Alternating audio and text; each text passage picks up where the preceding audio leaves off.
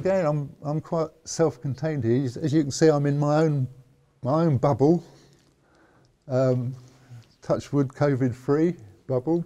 So I've been behind screens for my, most of my life. So it's not, not a massive blow to me having a screen in front of me. Um, and again, you know, I think it's probably important that from behind the drum kit, when I'm on stage or whether I'm in the studio, I can see everything that's going on. You know, over there I've got Steve Rothery and Steve Rothery Corner. Then right in front of me, behind you, is, is uh, Pete. Got Mark there so I can see all three. And if I lean back a fraction, I can see Steve H's mad corner over there. so, yeah, I can see everything that's going on. And then, um, I mean, the kit sounds really nice in here acoustically. Uh, it's not particularly ambient in here. It, it's it's uh, quite a natural sound. Still, I mean, it's still very loud. But um, you know, I've got put my headphones on, and I've got a control unit here, uh, an AVM unit, which has all my. I get levels for everybody here, which I, I can adjust. So yeah, bass drum, kit, hi-hat ride, bass guitar, JC120 guitar, 4x12 guitar, H's keys and guitars, Mark's keys, samples. And loops, backing vocals, uh, Pete's vocal and bass pedals, Mark's vocals, H vocals, band click, which is you know, the click that the whole band might be listening to if we're playing to a click, and then my own click. And I can adjust all the levels to any volume I want. And then I've got, here's a reverb for the drum kit, so I can turn that up and I can have a really nice reverb on the kit. Then where I'm sitting on this drum seat, I've got a thing underneath it. It's called a butt kicker. Um, and what that does is um, it actually vibrates and makes the, um, gives me some, when I hit the bass drum, it gives it a lot of oomph and bottom end. I think it's totally responsible for the reason most of my teeth have been falling out the last couple of years from the vibration. So uh, touch wood, they're still, uh, they're all right this week. This is a Tama kit, um, and I've, I've had this since probably 1990-ish. Um, and I, this kit used to go on the road with me, but uh, really for the last 20 years it's been here, it's permanently set up here in the studio. And then I've got a duplicate kit, which is the kit that goes out on the road. And the duplicate kit also has a special mic miking system on it, whereas all these overhead mics here, little mics on the toms, on the, uh, on the road kit, they're all internal mics. So they don't get in the way of cymbals and things crashing into them, and so they're all drilled into the drums, so they're all internal. Um, but that's the, uh, that's the on-the-road kit, but this one stays here permanently. The only thing I take out on the road is this snare drum, which is a Ludwig Black Beauty snare drum.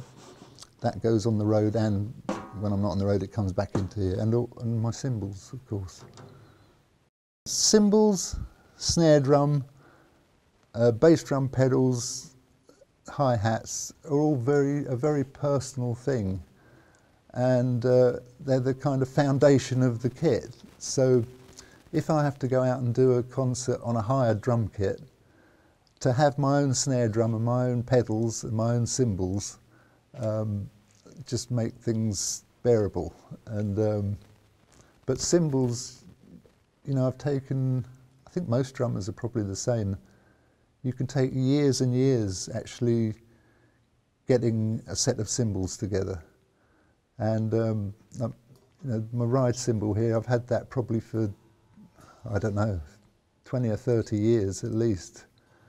And uh, um, the crash cymbals, crash cymbals, not quite so important to me. If I tend to, they tend to get split occasionally and that's from all the serious walloping they get.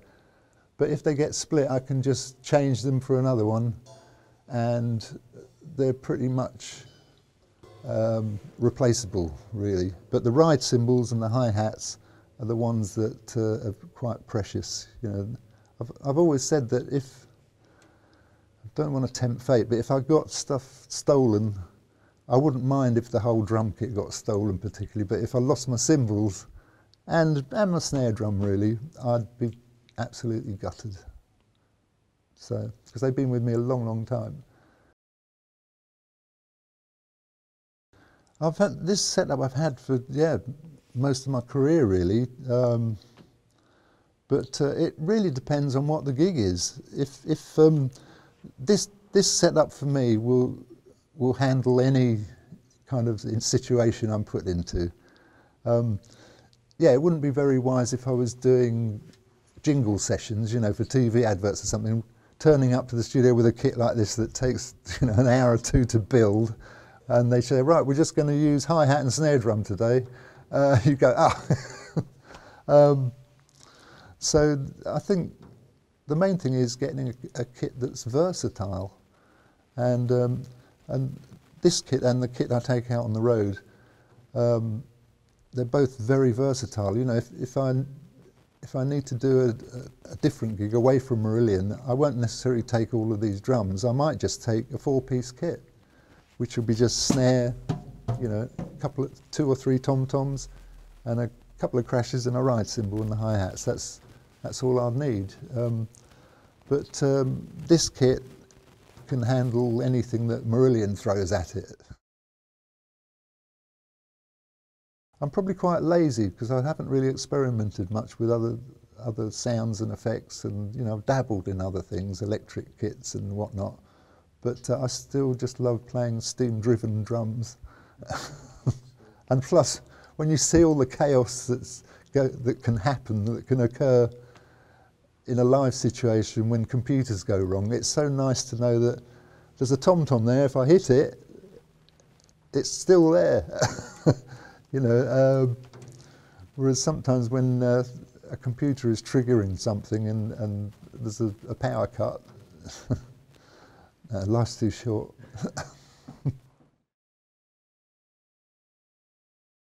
no, I haven't got, well, I haven't really got room at home. I've got a snare drum and a couple of practice pads at home. And uh, I'll sit down and, and, and run through a few rudiments and warm up exercises if I feel like it. Um, but uh, I used to have a drum kit at home, but I didn't really use it very much. Um, I mean, occasionally I'd open the windows and and make a lot of noise just to piss off the neighbours, really. Um, but um, no, I mean I've got we the kit is here in the studio, so and it's only a, a 30 minute drive for me, so really I can come in here whenever I want and play all day if I want. So there's no point in, as I said, I haven't got room at home anyway for a, a double drum kit. I've been with Zildjian cymbals. Um, I think I signed my first deal with Zildjian cymbals when I was about 18 or 19 years old. And I just love them. I mean, there's some good, good make cymbals, but uh, Zildjian have, have, always kind of been my favourite. Um, so I've been with them since I was about 18. Uh, they've been really consistent so far with me. I mean, whether whatever the gig I'm doing, whether I'm just doing, you know, uh, freelancing or whether I'm playing in, in Marillion or with Steve Hackett or whoever, they've always treated me exactly the, in the, the same way. And, um, and I don't take full advantage of it.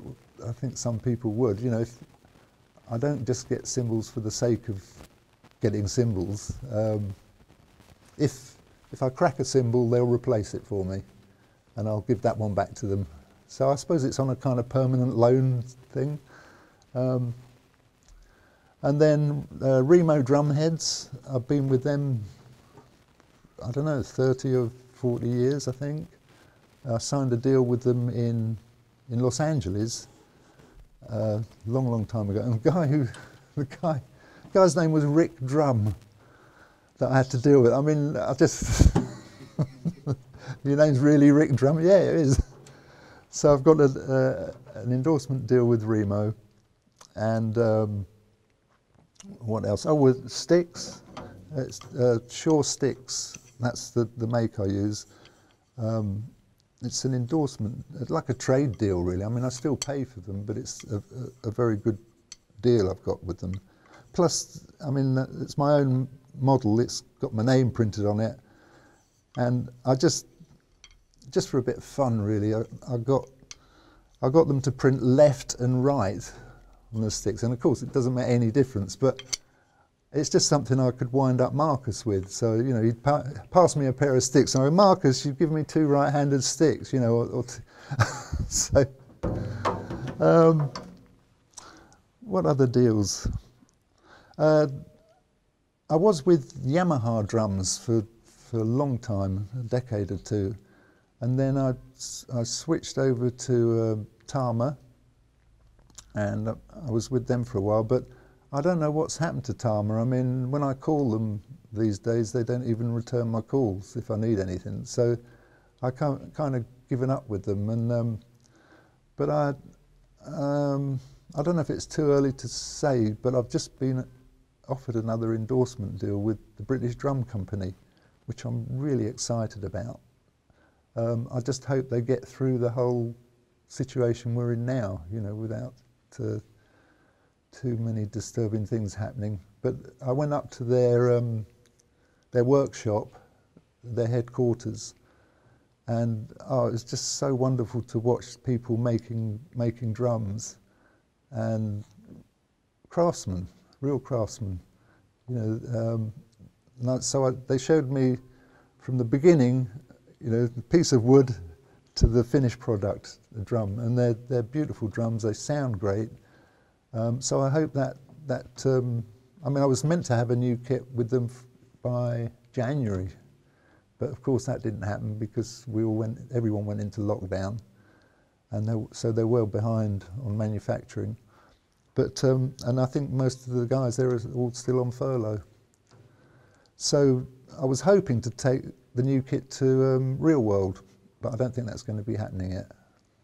So watch this space for that. Really just to just always listen, always ask questions. Don't be ever scared of asking your heroes or people you admire questions, you know. Um, when I was in my late teens, I used to, I was lucky, I worked in a drum shop in, uh, in the West End of London. And that drum shop, um, every drummer that was visiting London came in to say hi uh, or to buy something. And I made a point of every drummer that came in, um, I'd ask them a question, show me something, show me how you do that, show me, and uh, just listen really. Um, and, and practice.